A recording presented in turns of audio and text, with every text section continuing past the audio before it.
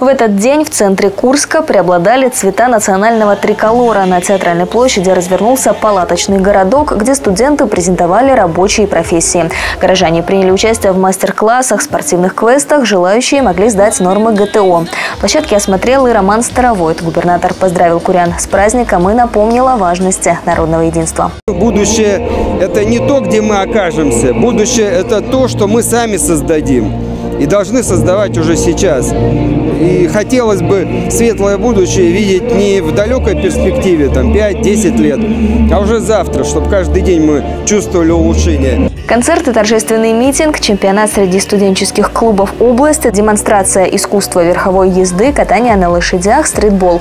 В этот день главная улица города была пешеходной, и куряне могли с комфортом передвигаться по интересным для них площадкам.